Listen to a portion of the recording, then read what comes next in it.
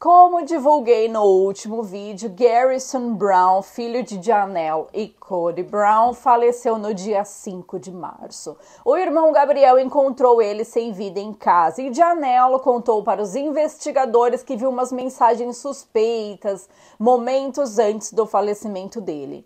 Garrison havia enviado várias mensagens para as pessoas que trabalharam com a família Brown, dizendo o seguinte: vamos abrir aspas. Eu queria te odiar por compartilhar os bons momentos, mas eu não posso. Eu sinto falta desses dias. Fecha aspas.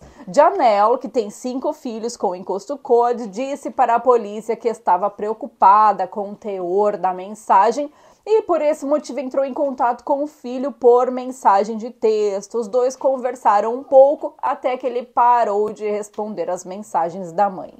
Então a ex-esposa irmã pediu para que um dos irmãos dele fosse até a casa dele para ver se ele estava bem. E foi aí que Gabriel, de 22 anos, se encarregou disso e foi até a casa do Garrison. Chegando lá, ele viu que a porta do quarto estava aberta, estava destrancada, e viu que o irmão estava sentado na cama com o nariz sangrando.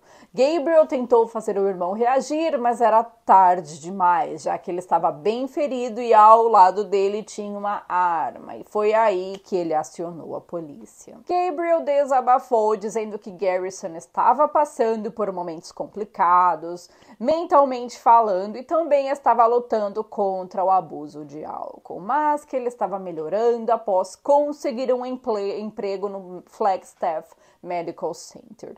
Ele tinha conquistado várias coisas, comprou sua casa, comprou um carro bem legal, que inclusive o pai dele falava que jamais ele conseguiria comprar um carro daquele. Cody, né, como sempre, se desfazia muito dele. Isso não é de hoje, não é mesmo? Bom, gente, isso é tudo que eu sei até o momento. Quando eu tiver mais atualizações, eu venho aqui contar para vocês. E novamente eu digo meus sentimentos à família. A gente se vê no próximo vídeo.